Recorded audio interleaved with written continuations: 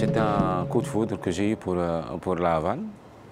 J'étais en, en, repérage pour un film dont j'ai écrit le scénario et j'ai découvert euh, cette chose absolument remarquable, la leçon de vie qu'incarne chaque Cubain.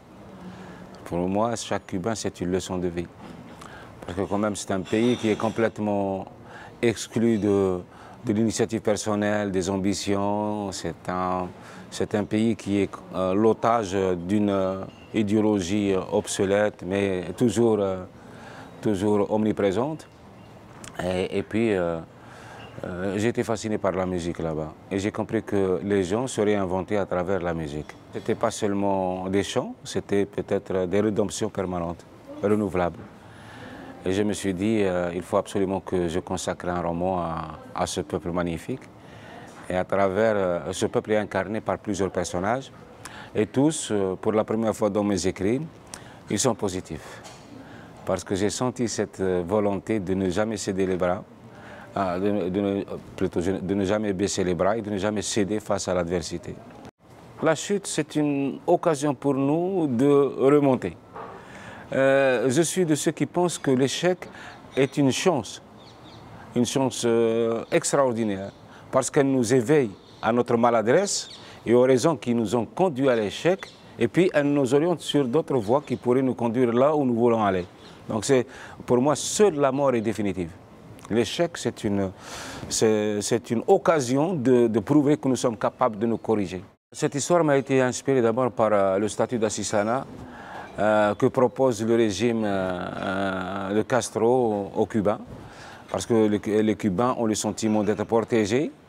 Euh, ils ont un, une carte de ravitaillement, ils ont un salaire, et puis ils n'ont pas l'occasion pour eux de, s'enrichir ou d'aller encore ou de revendiquer autre chose que ce que le régime leur impose.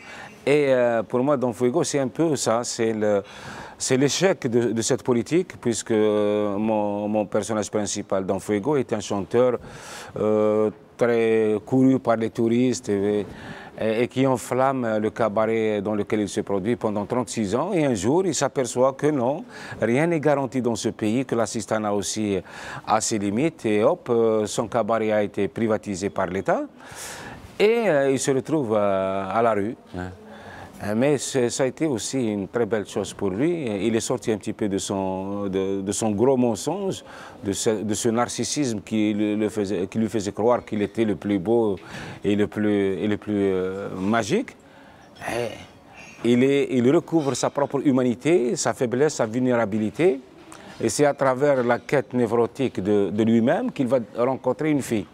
Une fille euh, très très belle, qui a malheureusement trois fois moins son âge et, qui va tout simplement l'envoûter le, le, par sa beauté, par son mystère, parce que c'est une fille très mystérieuse, elle cache un secret terrible.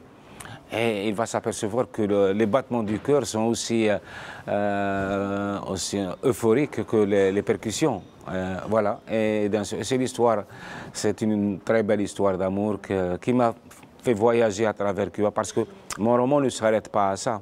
Mon roman, c'est aussi un voyage euh, à travers les, même les, points les plus reculés de la mentalité, politique et culturelle euh, de Cuba. Et, et, puis, il y a plein de rebondissements. J'aime bien que mon lecteur soit surpris. voilà, j'essaie de le surprendre. Je me suis interrogé sur euh, la symbolique de cette histoire. Qu'est-ce qu'il qu y a derrière? Mais euh, derrière, il n'y avait ni Don Fuigo, ni Mayan Selafi il y avait certainement moi. Voilà. Il y avait moi, quelque part. C'est une histoire qui ressemble un petit peu, euh, non pas à mon histoire d'amour, mais à mon histoire d'homme, à travers qui, qui, qui, croit avoir été quelque part et qui se retrouve là où il n'a jamais pensé être un jour.